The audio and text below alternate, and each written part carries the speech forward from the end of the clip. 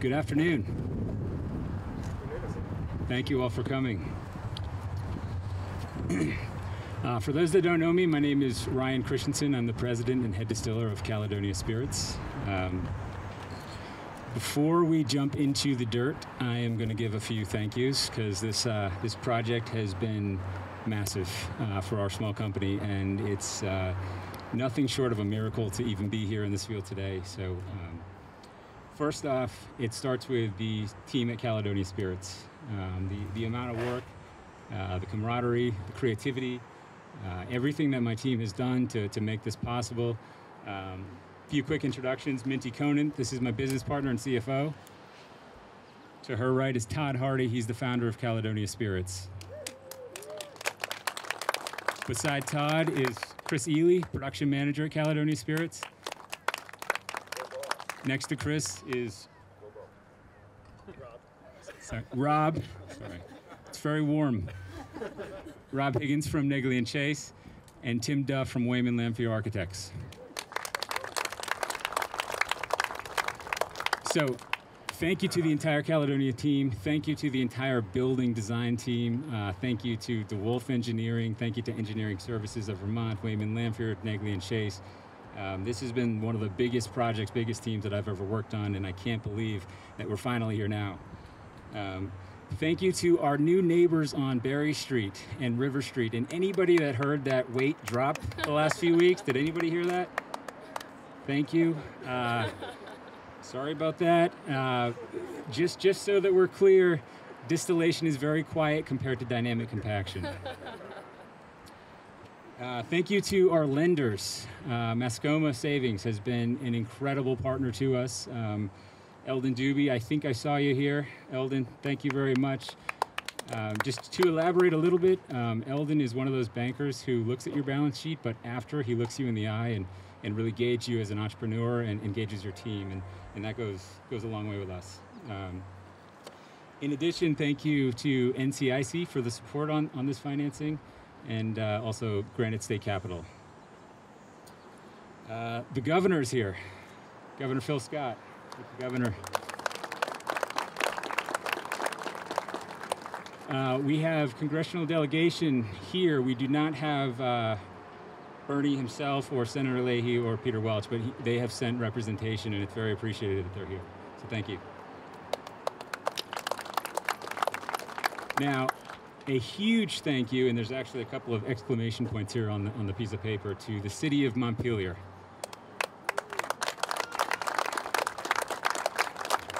We, we first got involved in this site and, and with the city um, quite some time ago. This has been a big project that's taken uh, a, a, lot of turns, and we're finally moving forward, and, and we couldn't be more excited. But the support of, this, of city management, Bill Fraser, Sue Allen, um, the, the, entire team at City of Montpelier.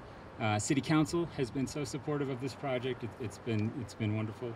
Uh, Tom McArdle and Public Works, those guys have worked so hard on our behalf that we are very, very appreciative of that. Um, Mayor Watson, who's right here.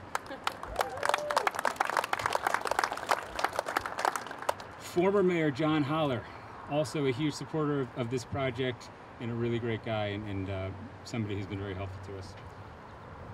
And then one last person from Montpelier, and I know I'm skipping a whole ton of people that have been very helpful, but um, this project would not have even been an idea or a vision if not for Jessie Baker, who is no longer in Montpelier. She's now in Winooski, but um, if anybody's had the pleasure of meeting Jessie Baker, you know that she's doing heroic things right now, and, and uh, we're forever thankful for her.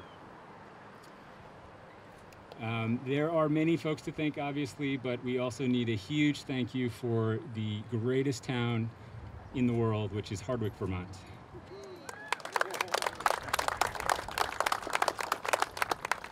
If not for Hardwick, I don't think Caledonia Spirits would be in business. I, I, the, uh, the spirits business is incredibly competitive, and it takes a community to rally, rally around a company uh, to find its way through that. And uh, the Hardwick community, Greensboro, Craftsbury, all of Northern Vermont said, this is a team, this is a product, we believe in these guys, and they gave us a jump start. And we have now grown to capacity in, in Hardwick. Um, and we need more space. So Hardwick is, is by all means a town that, that helped us get here.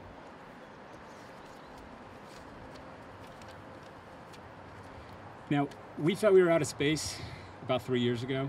Um, it felt like we were bursting at the seams in Hardwick. We, uh, we have developed a wonderful skill in doing more in a small space, and that um, is a skill that I hope that we will not forget, and I think we'll utilize that, that skill here. Um, because even this space, which looks very large um, as we start to dig in the dirt, um, there's not as much room here as we thought. You know, we, we are already looking at, you know, our, our business has grown since construction design began, so um, we're, we're, we're, glad that we have that skill. Um, we are in a very competitive business in the spirits landscape. Uh, there are major billion dollar companies out there that we go to bat with every single day. Um, they are buying up shelf space, they have flawless marketing, they have all of the shiny objects. Yet somehow um, this little Caledonia Spirits and Bar Hill Gin continue to grow. And um, I have a couple of theories as to why that might be. Um, first off, we distill every single bottle that goes to market. Um, that may not sound crazy, that may sound crazy to you, but um, when we go to market with every bottle, we know who made it. It's our distillers, it's our team, it's Scott, it's Andrew, it's Craig, it's, it's the whole team at Caledonia Spirits. Um, that's not normal in this industry. There are a lot of brands out there that are buying products and selling products and slapping a label on it, and there's all sorts of marketing that goes along with it.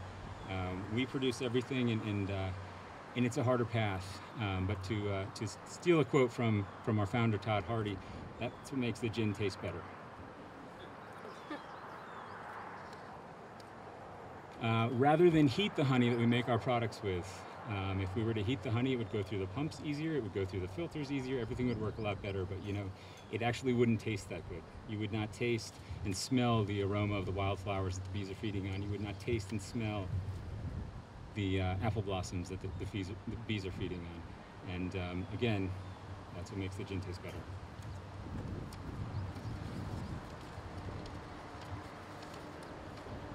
Rather than ship commodity grains from the Midwest uh, here to Vermont, uh, we buy certified organic grains from Todd Hardy's farm in Greensboro. Um, Todd nurtures the land, he takes care of the land, and we know that Todd's farm is allowing the land to rest, and he's not he's not polluting the rivers. So we feel good about the grains that we're buying, and uh, that also makes the gin taste better. Rather than depend on market pricing um, to, to figure out what we're going to pay our farmers, we have conversations with our farmers. When we meet with a farmer and we talk about a contract, first we need to figure out what their business model can support. Because what we want is the best quality raw materials, not the best pricing. And it starts with, with quality raw materials. Um, again, that, that also makes the gin taste better. Um, rather than paying employees minimum wage, we started a livable wage. That also makes the gin taste better.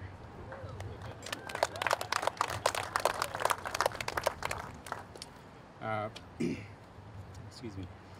We started this business on a 15 gallon direct fire still. If anybody doesn't know what that means, that means there was a fire underneath a still, which was producing 160 proof ethanol. That's not wise, and we probably won't ever do that again, and by probably, I definitely mean definitely.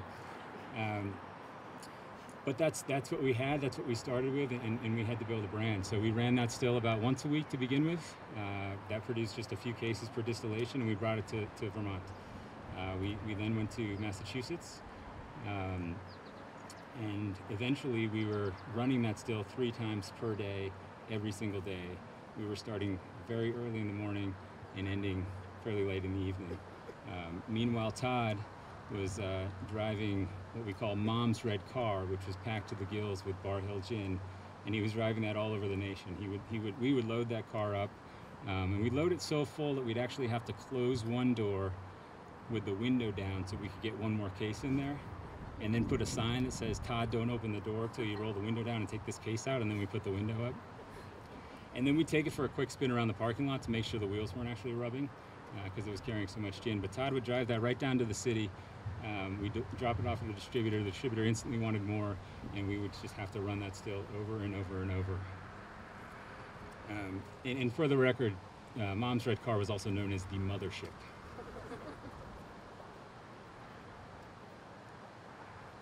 So today we have larger stills. Uh, we have a larger team. Um, we have larger ambitions, and, and, we're looking at this this globe, and it's actually getting a little bit smaller as, as we start to figure out how the spirit world works. And um, we couldn't be more thankful of the support. Um, we couldn't believe that 200 people RSVP'd to see us put a shovel into the dirt. Uh, we are very excited when we open this distillery, but we haven't even built the building yet and we already feel the support. Um, so thank you all for being a part of this story. This is undoubtedly a new chapter for Caledonia Spirits. Um, and we very much look forward to it. So thank you all.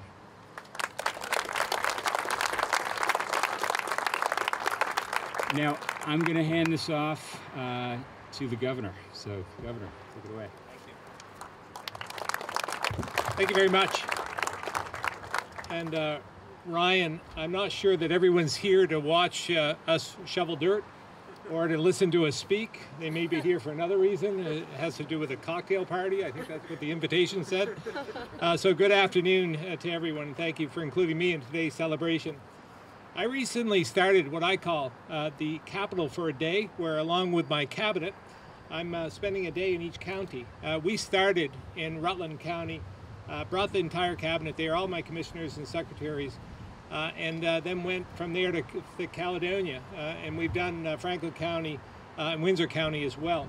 And I did this because of what I experienced with my everyday jobs tour when I was lieutenant governor. working a day in someone else's shoes was really important and it gives you a touch and a feel for what the struggles and the challenges and opportunities are uh, throughout Vermont. And um, so we decided to do this. And by the way, as Lieutenant Governor, I worked in a distillery for a day. So uh, if I'm uh, not successful uh, in the next couple of elections, I may come over and see you. Uh, but this new uh, Capital for Day initiative is another opportunity for me and my cabinet to roll up our sleeves and walk in someone else's shoes. Uh, we've done, uh, again, all these, uh, these trips and we've met with uh, constituents, lawmakers, businesses, local partners, and state employees as well. And the goal really is to provide uh, direct access to the administration to make us better prepared to address the regional challenges and, and statewide challenges that we, uh, we see and know that we have to get beyond in order for there to be economic growth. So that day we spent uh, in Caledonia County. Uh, we, we started off the day at Caledonia Spirits in Hardwick. We had our cabinet meeting right there in the uh, facility. Um, we had a lot of ideas after that day and a half at your facility. Uh, that was a joke, by the way. We didn't really spend a day and a half there. Uh, but we, uh, they educated us as to what your product was, vision, and industry. And I learned, for one thing, that burdocks do have a use. Uh, maybe we'll see something in the future with that, uh, but, uh, but I always wondered what they were good for. Uh, while I was there, I got to view the blueprints for this new building, uh, and as someone who spent 30 years of my life in construction, uh, it was exciting for me to see and for me to be here as part of this, this groundbreaking. It seems everywhere I look in Vermont, we see more breweries, distilleries, vineyards, and they, they're growing by leaps and bounds. And over the last 14 years, Vermont has seen a number of these distilleries grow from uh, a mere three to now we have 28 uh, in the state. That's an 833% increase. This is a sector that is helping put us on the map, increasing our tourism draw, and leading to more economic activity in our communities through related businesses like barrel uh, builders, uh, local farms uh, where we get our, our wheat and and uh, where we get our, our honey, as well as hotels and restaurants as well. And as a state, uh, we have to continue to support entrepreneurs like Ryan, who have invested in the natural resources that we have and the working landscapes because they create good paying jobs and rewarding jobs as well. Uh, this is really an example of what we can do uh, when we work together. We pull together in the same direction Ryan and his team have already achieved so much, including international recognition, Gin of the Year at the Hong Kong International Spirit Competition, as well as, that's a great, that yeah, they deserve a round of applause for that, as well as um, the uh, Vodka Distillery of the Year at the Berlin International Spirits Competition, among various other gold medals over the years. So Ryan, I just want to uh, thank you uh, for making uh, Vermont your home uh, and to choose to invest and expand here. And I look forward to toasting this completion of this uh, incredible project. So thank you very much for inviting me as well.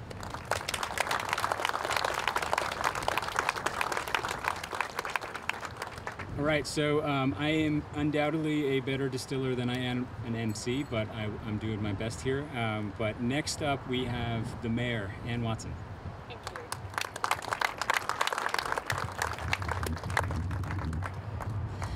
Hello, everyone. Welcome. Thanks for coming out for this great occasion today. Um, I am so excited to uh, be welcoming not just you, but Caledonia Spirits uh, to Montpelier uh, on behalf of the city. We are so grateful to have you. Thank you so much for, for uh, gosh, spending so much time to get to this point. Uh, I also want to thank um, the city staff who spent a lot of time. And Ryan already mentioned this, but uh, uh, Bill Fraser, Tom McArdle, Sue Allen, Jessie Baker, who spent so many hours to to make this happen, to get to this point, to get to today.